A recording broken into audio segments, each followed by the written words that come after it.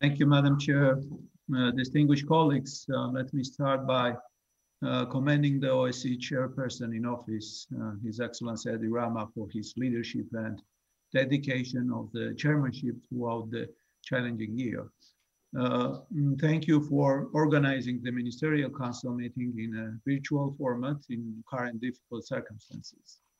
The motto of the chairman in office, uh, implementing our commitments together, is as urgent today as ever. Uh, 45 years passed since our commitment to the Helsinki Final Act and uh, 30 years since the adoption of the Charter of Paris, which laid the foundation for a peaceful and uh, rules-based order in the OSCE area.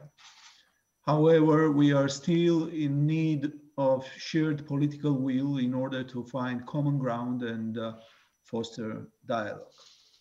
Dear colleagues, our annual gathering uh, give us unique opportunity to turn our commitments into relevant decisions.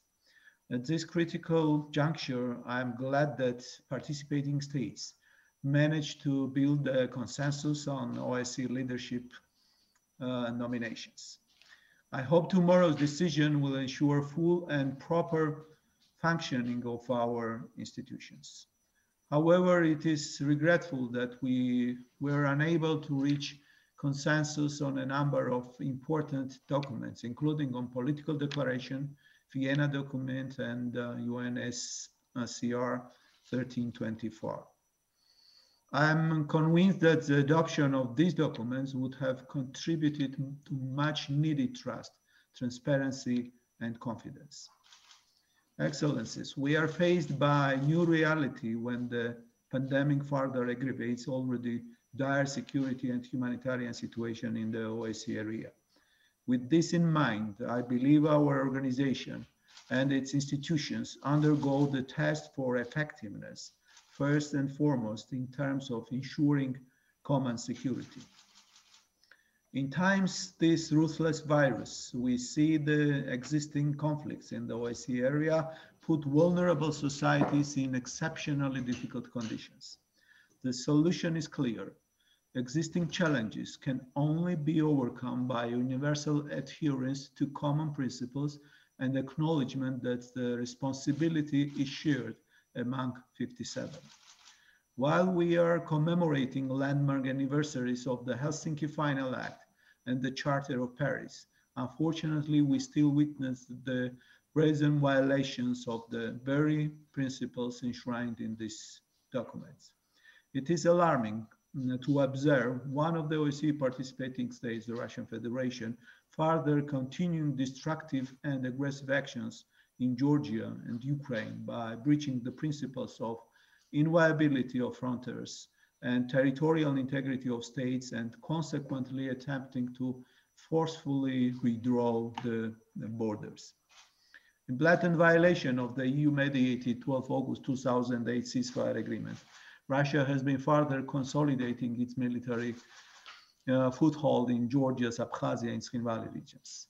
It has been conducting illegal military exercises with Kavkaz 2020 military drills as a vivid example on the territories of these occupied regions.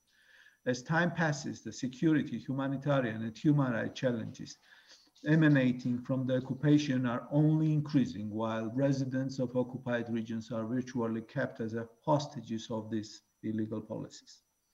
Amidst pandemic and full disrespect of the UN uh, Secretary General's call for immediate global ceasefire, erecting uh, razor, uh, razor fences and other physical barriers along the occupation line between the war-torn communities continued, which dramatically affected the lives of local population. Moreover, brutal killings of ethnic Georgians, illegal detentions have become a common uh, malpractice in these regions. It is particularly concerning that the international security mechanisms and human rights monitors, including the only international mission on the ground, EU monitoring mission, are prevented to enter the Georgia's Russian occupied territories and regions. Given the continuous provocations on the ground, I would like to highlight the important role of the UMM and its uh, mission and its uh, activities. Regretfully, we have witnessed also mm, destructive attitude towards the negotiation format like Geneva International Discussion and IPRMs. Through politicizing the humanitarian issues and using the practice of walkouts, Russia has been hampering the substantial discussions within these formats. It is even more alarming that Russia has been taking additional legal steps toward de facto annexation of Georgia's occupied regions. Adoption of the so-called program on common socio-economic space between Russia and the occupied Abkhazia region of Georgia just a few days ago is yet another manifestation of Russia's attempts to fully incorporate Georgia's indivisible regions into its military, political, and economic and social systems. On top of it, Russia intensified hybrid warfare, disinformation and propaganda, as well as large-scale cyber attacks in the last years uh, against government, judiciary, media, and uh, private sectors of Georgia. Its propaganda machinery specifically targeted the Richard Lugar Center of Public Health Research, uh, that uh, laboratory that has been uh, important in Georgia's fight against COVID-19. Moreover, even the UMM has become the subject of the attack of this uh, uh, disinformation campaign from Russia.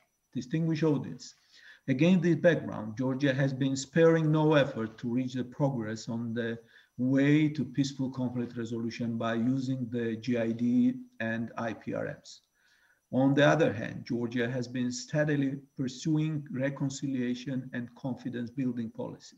The Peace Initiative, a step to better future, is implemented to improve socio-economic conditions of the people in the occupied territories, increase engagement and people-to-people contacts across the occupation line. In this difficult time of pandemic, my government has been providing humanitarian assistance to Abkhazia region to mitigate dire conditions of local population. Unfortunately, Tskhinvali region remains fully isolated and the access and assistance is denied. Dear colleagues, you are aware that Georgia has fully implemented the EU-mediated ceasefire agreement and numerously reaffirmed its non-use of force commitment. We are still waiting for the reciprocity from Russia. The long-term solution of the conflict lays in Russia's compliance with the ceasefire agreement. To that end, let me once again call you know, on Russia to cease human rights violations and allow human rights and international security arrangements in both Georgian regions withdraw its military forces from the occupied regions of Georgia, and to comply with the fundamental norms and principles of the international law. Excellencies, despite all these difficulties, we are firm in our strive towards democratic transformation and rock solid in our commitment to its European and Euro-Atlantic integration. Recently, Georgia held parliamentary elections which international community assessed as competitive, where overall fundamental freedoms were respected. Let me use this occasion and express gratitude to all international observation missions, including the OSCE ODIHR and the OSCE Parliamentary Assembly for monitoring these elections.